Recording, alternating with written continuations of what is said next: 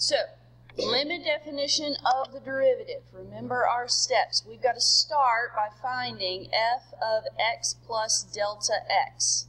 That means that in our original function, everywhere we see x, we are going to replace it with x plus delta x.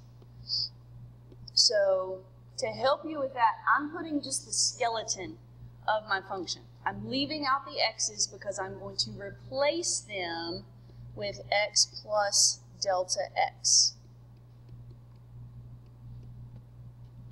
Okay, everywhere I see an x, I'm going to replace it with x plus delta x. Now, let's simplify this. Let's try and get this in uh, the simplest form that we possibly can. Um, so what happens when we have x plus delta x squared? Is that equal to just x squared plus delta x squared?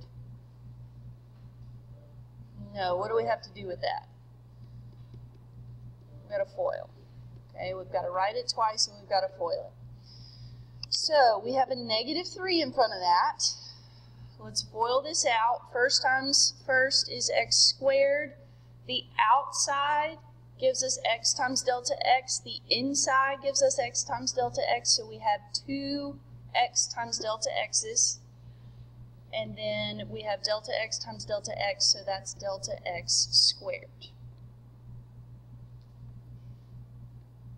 We need to distribute that negative 5. Now it is very, very integral that you are very careful with your signs when you're doing these. Because sometimes if you mess up one sign, You've messed up the whole problem.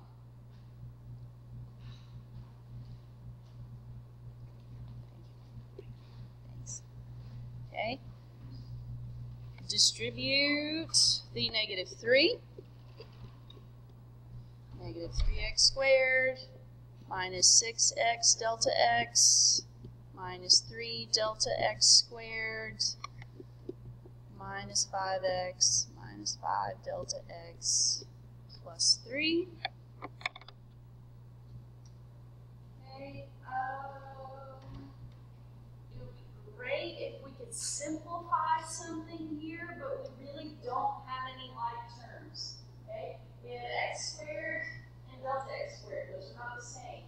We have x delta x, that's not the same as just an x or just a delta x. So that's really as, as simple as that will um, be.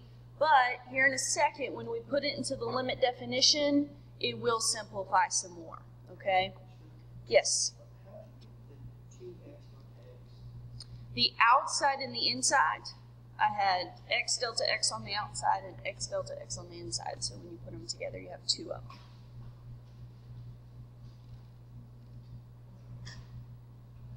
When I foiled this, the outside gives me x delta x. The inside gives me x delta x. So we have two of them. Okay, so again, I'm going to rewrite the limit definition of the derivative, the limit as delta x approaches 0. So as the change on my x's is getting smaller and smaller and smaller, this the slope of the secant line is approaching the slope of the tangent line. So I'm going to write it in general forms first. You don't necessarily have to write down this part, although it is probably a good idea just to get in the habit of seeing it. Okay, that is the general form of our limit definition. The work that I have there in green is the f plus delta x part. So the limit as delta x approaches 0 of, and I'm going to keep it in green, negative 3x squared minus 6x delta x minus 3 delta x squared minus 5x minus 5 delta x plus 3. Yeah, these get a little long, but the polynomials are the only ones that do. Minus f of x. Now, it is very important that we put f of x in parentheses because it is following that subtraction sign you must apply that negative to everything following it. If you don't, then things are not going to work out as they should. Okay, now we get to simplify. Now, for the purpose of just being totally clear right now, I'm going to take an extra step to rewrite my f of x plus delta x and to actually show where I distribute the negative. So that becomes plus 3x squared plus 5x and minus 3.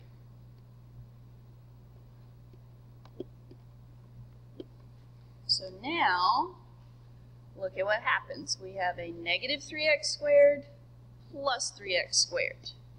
Those cancel. We've got a minus 5x and a plus 5x. Those cancel.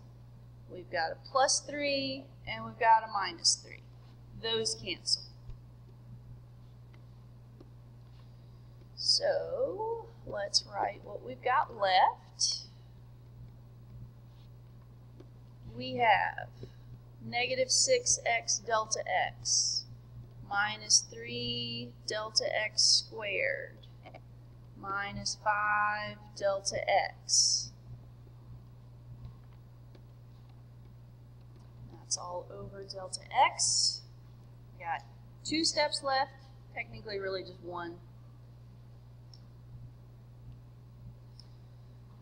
This is finally where we, if you remember writing down the steps, I said you need to factor out a delta x this is where that comes into play. We didn't have to do it yesterday because when we simplified, we only had one term left in the top, so we really didn't factor it out.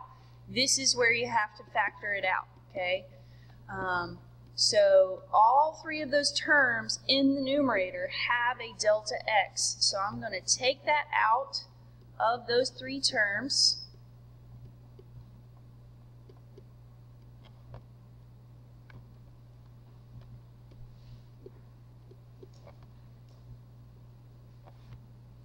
Okay, so we're left with negative 6x minus 3. There's still a delta x there because it was delta x squared minus 5.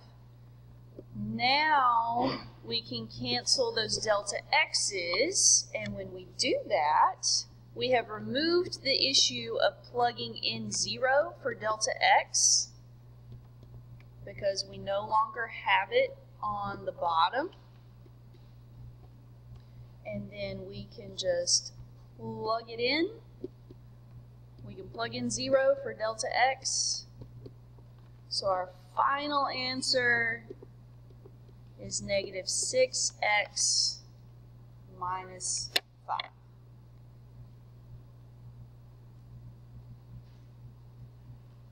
Negative 6x minus 5.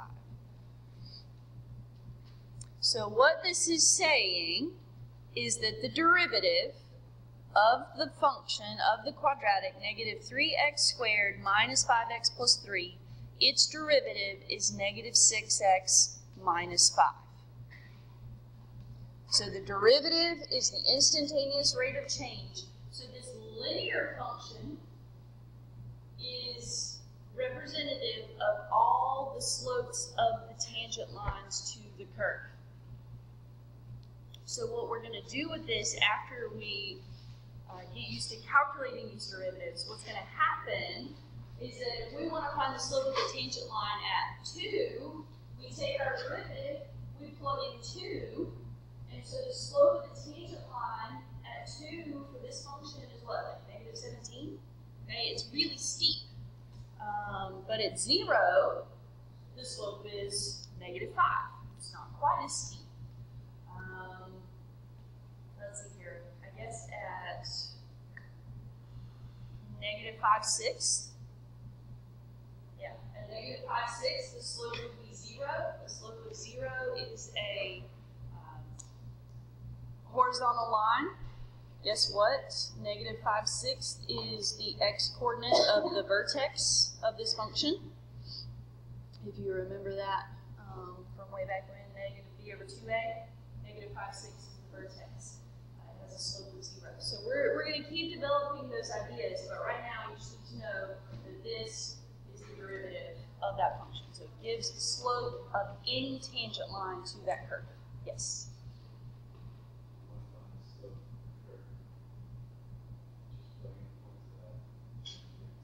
Yes. Yes. Okay. Um, all right. So I want you to